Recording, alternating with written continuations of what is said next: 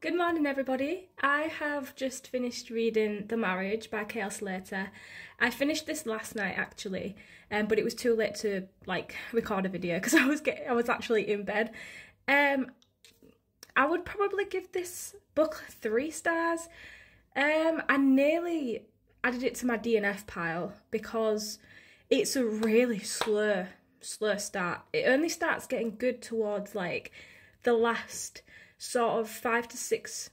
I mean, the chapters are really short, which is good.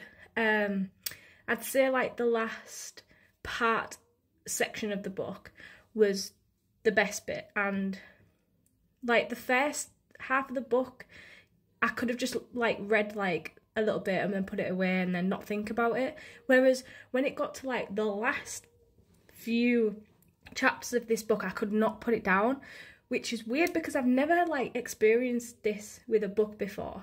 Um, I'm glad that I stuck with it because it is like the plot twist had me like.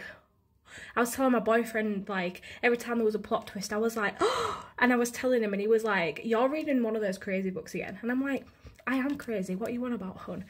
But yeah, the last part of this book is so good. Like the plot twists just keep coming, and I was like, wow, really good. But the first part of the book was really slow. So if you do read this book, stick with it. It does get better, but still, the plot twists were good, but there wasn't like overwhelming. Excuse me, I've just eaten breakfast it wasn't overwhelming it was just kind of like wow what a shocker sort of thing. But yeah it's a nice light read if you're stuck if you're stuck in that sort of slump where you kind of like you want to read something but you don't want it to be too heavy. This is definitely one of these books so yes. But yeah i'd give this book maybe like a 3.5 or something. Um yeah let me know if you've read it um, and let me know what you think about it and i will see you in my next video. Bye bye